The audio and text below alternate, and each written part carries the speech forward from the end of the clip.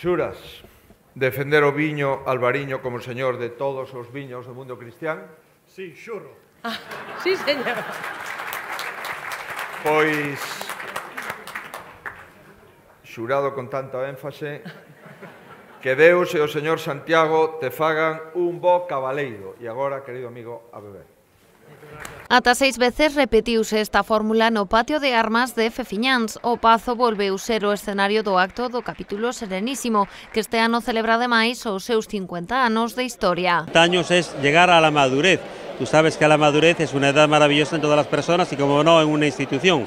Máxime cuando este año es el primer año que la fiesta es de interés internacional, aparte fue Ciudad Europea del Vino y no podemos dejar de olvidarnos de que el capítulo lleva más de 50 años luchando para que esta fiesta sea declarada de interés internacional trayendo cofradías y personalidades de todo el mundo para que eso se fuera logrando poco a poco. Aprovecho además la ocasión que se me brinda para felicitar a la institución, al capítulo Serenísimo, por la celebración del 50 aniversario.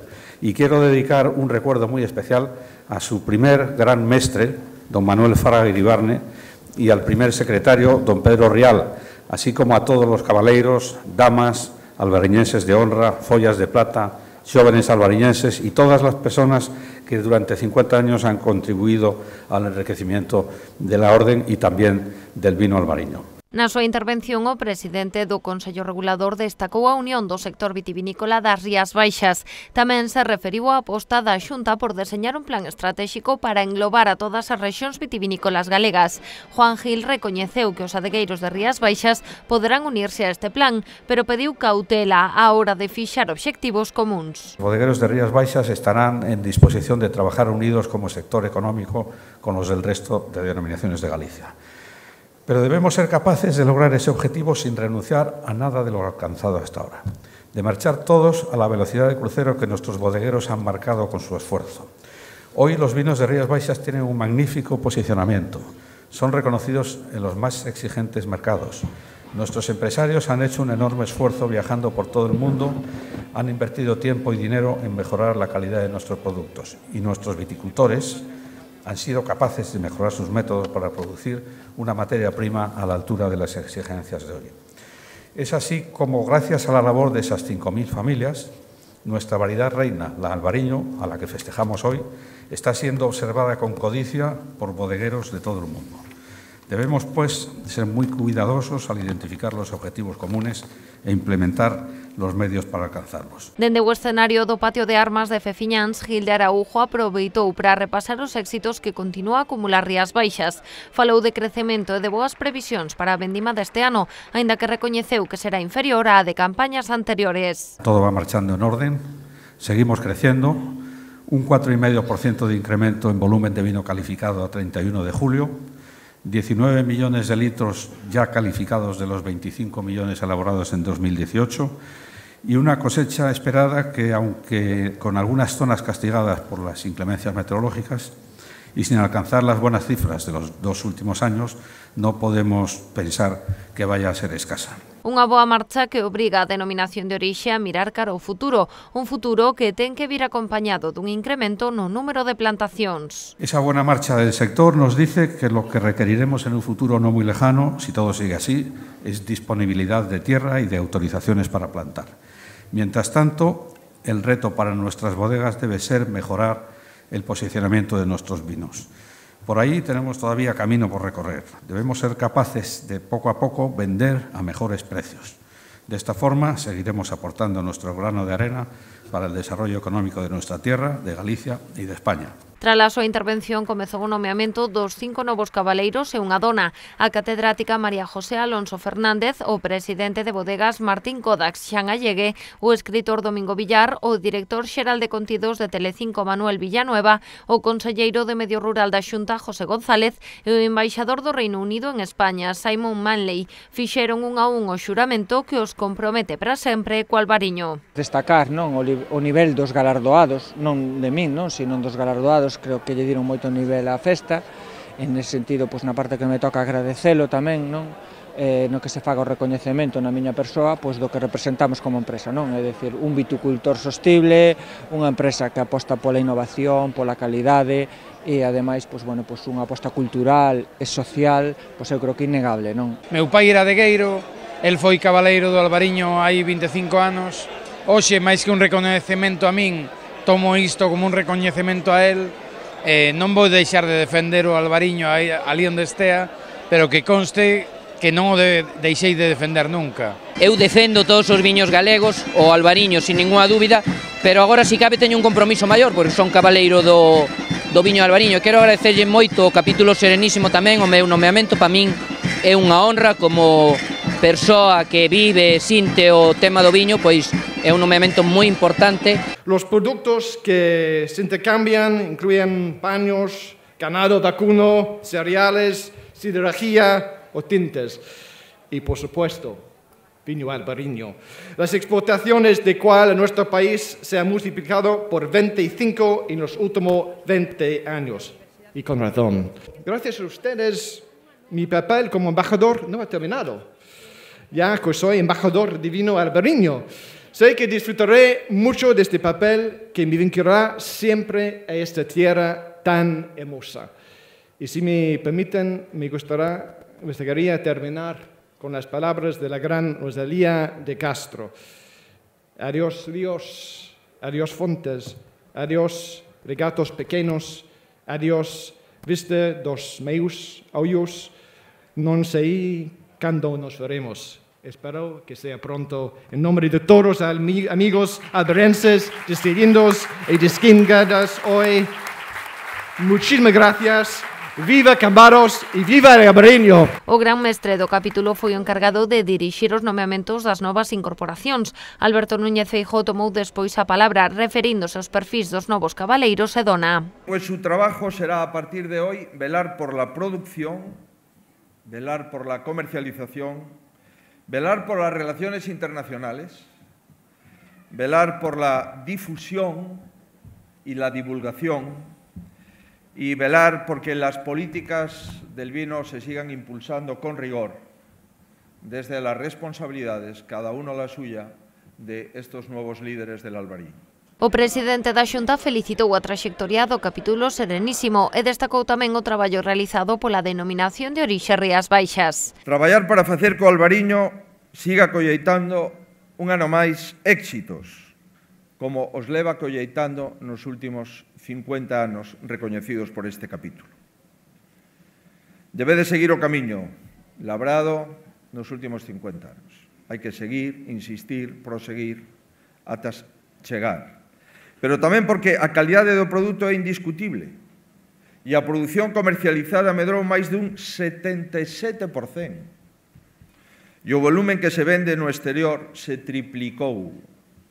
E de cada 100 botellas de viño que se producen baixo a denominación Rías Baixas, 26 se exportan. No acto, ademais, se nomearon os novos xóvenes albariñenses e albariñenses de honra, así como tamén entregáronse as follas de prata desta edición.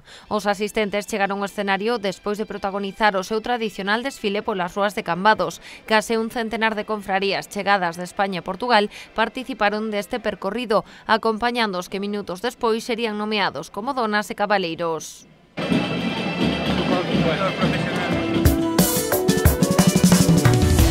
O de Señorío de Rubiós e o mellor viño albariño da ANA dado 2018. A medalla de ouro da 31ª cata concurso Rías Baixas marchou para a subzona do Condado do Tea en recoñecemento dun caldo que ofrece o consumidor as características da súa terra. É un albariño que na nosa zona pois ten uns toques máis eh, minerales, eh, máis eh, afrutados, que ten unha acidez que está sempre ben equilibrada pero sobre todo nos que buscamos é que os nosos viños manteñan a esencia as características da zona do condado.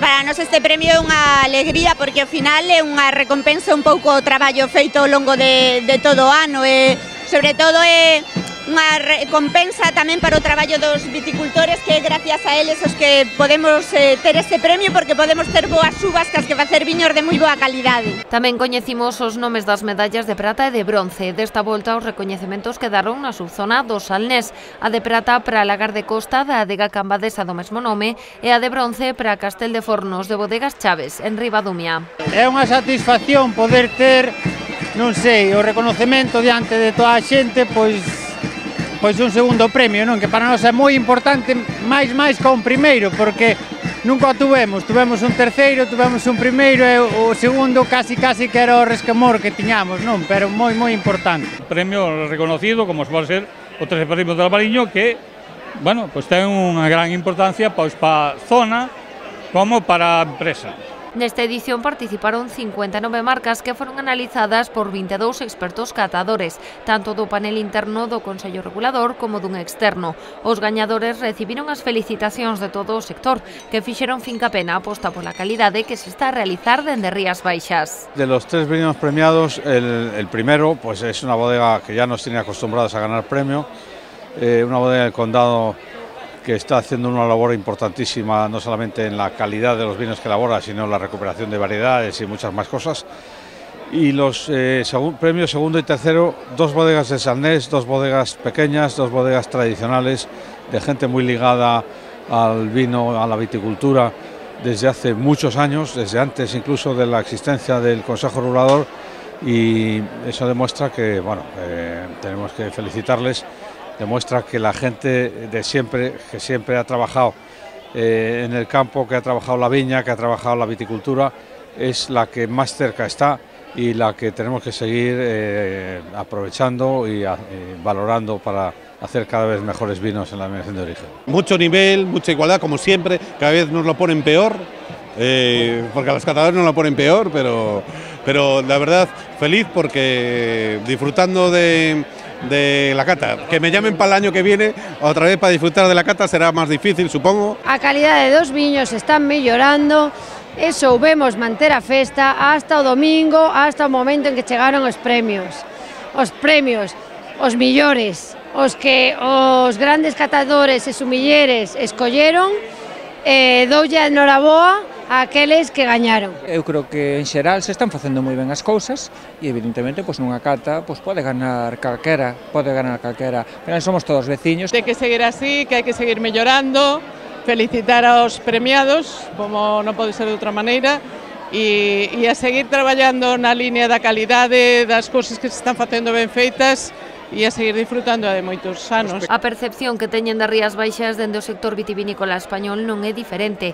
Segundo David Palacios, o presidente da Conferencia Española de Consellos Reguladores Vitivinícolas, a evolución da DO vese con envexa xa dende fora. Con envidia sana porque creo que es una, una denominación de origen que ha sabido hacer las cosas bien, no por casualidad, sino con una visión, con con una proyección. Eh, sabían dónde estaban y a dónde querían ir y sin ninguna duda ha sido la prueba del esfuerzo, del trabajo, del saber hacer, de la unión, porque en este sector vitinícola nada se hace con individualidades, sino que todo se consigue a base de unar esfuerzos, de dejarnos de, de esos individualismos que suelen primar en este sector del vino y que caracterizan a veces al ser humano, pero aquí han sabido dejar, esos, dejar pelos en la gatera y aunar esfuerzos para crecer en, en, en valor, que es lo que todos queremos, todos del sector del vino, pero también en comercialización y también en imagen y saber ser profetas en casa, que es muchas veces difícil, pero también ser eh, imagen en el exterior, en la exportación. A entrega de premios serviu para clausurar o multitudinario xantar de confraternidade que cada ano acolle o Pazo Torrado, unha cita que transcorreu sen sobresaltos e que permitiu poñer o broche de ouro a unha festa do Albariño que levanta paixóns é unha maravilla por, por moitas razóns. Unha porque a unha eh, cultura con negocio, con lecer, eh, e fai que todos eh, sexamos partícipes de algo que, que, que é moi noso. Teño que decir que é unha festa que sempre me gustou e agora que a vivo dende dentro como conselleiro me impresiona todavía máis. Ah, como che decía antes tamén, a, a, a liturxia que ten ao redor do capítulo serenísimo, que se poida facer todo, todo este tema da entrega dos premios e, sobre todo, a popularidade que ganou xa esta festa. Unha festa magnífica, unha festa que leva moitos anos de tradición e que, bueno, pois ano tras ano pois eh, está mellorando tamén e por suposto felicitar ao Concello de Cambados a todas aquelas persoas que fan posible esta festa, xa non solamente agora, sino durante todos estes anos e que cada día, bueno, pois nos dá a recoñecer eh, ao mesmo tempo que un dos viños eh, blancos rei do mundo, por suposto, e polo tanto o que hai é que eh, bueno, seguir en apoio desta festa. Estas valoracións son recibidas con satisfacción dende o Concello de Cambados. Fátima Val recoñeceu que xa están a pensar na cita do ano que ven, apostando sempre por mellorar e ofrecer a mellor imaxe de Cambados aos máis de 200.000 visitantes que se achegan ata a vila. E ano a ano se van descubrindo novas necesidades e, e bueno, en, el, neso se traballa. Agora unha das grandes necesidades posibilidades que temos é ampliar un pouco ese paseo da calzada, mirar como facer que a festa, pois ao alcanzar esta envergadura, se sea un pouco máis o espacio un pouco máis amplio e seguiremos traballando sobre todo en temas como, por exemplo, a limpeza, porque sabemos que aínda que ano a ano se reforzan, moitas veces queda escaso. Este ano colocamos unhas barreiras anticontaminación tamén para proteger a ría e sempre hai cousas novas que, que ir traballando nelas e que mellorar para que a festa vaya mellor posible. E que a idea é que o vindeiro ano Cambados celebre a 68ª Festa do Albariño declarada de interese turístico internacional e que sexa aínda mellor que as anteriores.